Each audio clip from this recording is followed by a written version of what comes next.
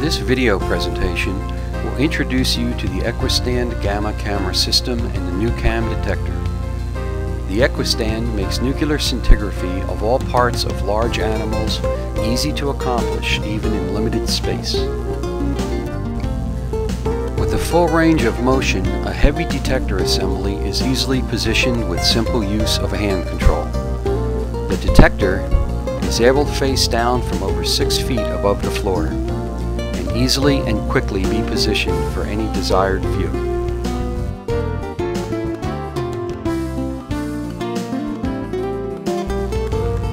The acquired images are viewed and processed at the computer terminal.